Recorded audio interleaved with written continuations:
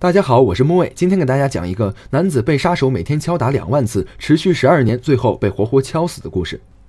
小胖是个普通上班族。这天下班回家的他，突然被人敲了一下脑袋。小胖回头一看，这是一个面部狰狞的家伙。小胖吓得那是转身就跑。在家睡觉的时候，这个勺子怪突然出现，冲过来用勺子对他就是一顿敲打。无奈小胖只好到处找人帮忙。他打电话报警，说有人用勺子追杀他。警察当他神经病，没有搭理。勺子怪继续拿着勺子追打着他。在图书馆看书时，在马路上跑步时，在家刮胡子时，这个勺子怪都会突然出现，用勺子敲打他，搞得他看见勺子就想发飙。小胖给医。医生看身上被勺子敲的伤痕，医生却说是他在自虐。妻子也不太相信他说的话，于是小胖拿起相机准备拍下这个勺子怪袭击他的证据，却没想到只拍到了一团黑影。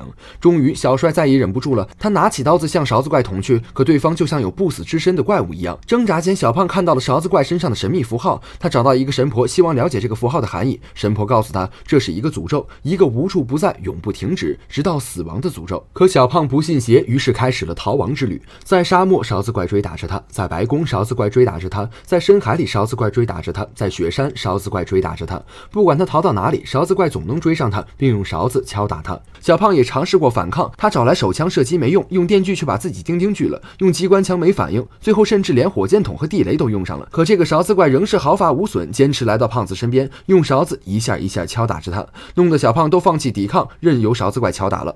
经过十二年，每天两万次的敲打，勺子怪终于把勺子给敲断了。就在小小胖。以为这是自己生的希望之时，勺子怪拉下了拉链，里面白晃晃的全是勺子。看到这些，小胖也是彻底的绝望了。